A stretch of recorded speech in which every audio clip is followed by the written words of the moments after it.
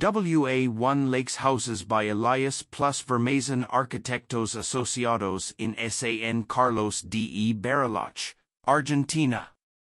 From the first visits to Bariloche touring lands, we noticed that there are very few places that allow the lake to be seen from the street. This got us thinking and it started to become the guiding idea of our project maintaining public views and intervening as little as possible in the lot.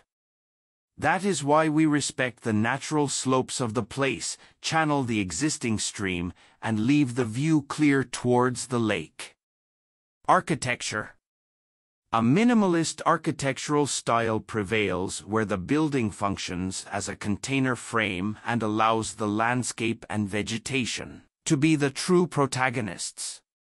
Noble Materials For the materialization of our project, the choice of resistant, low maintenance, and visually minimal impact products was fundamental. Reinforced concrete has these qualities and more, wood and glass complete the combo that blends with this wonderful landscape. Green terraces. Throughout the construction, Hundreds of cubic meters of soil were moved in order to bury the modules and thus maintain natural slopes, greater absorbent land, and green roofs that help with the insulation of the units. Sustainability Through the choice of the construction system, new materials, and technologies, we achieve very good passive insulation, which is essential for energy savings. The use of native species for landscaping was essential to complete this project, as they require less care and integrate better with the landscape.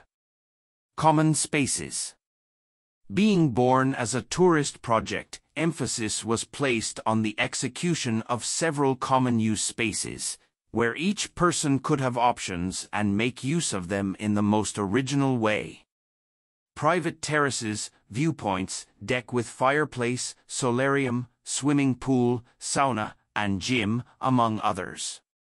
The units. The project consists of three modules oriented with different visual angles and different levels, which gives each unit a unique view of the lake. Each one with the comforts and necessary services to accommodate two to four people.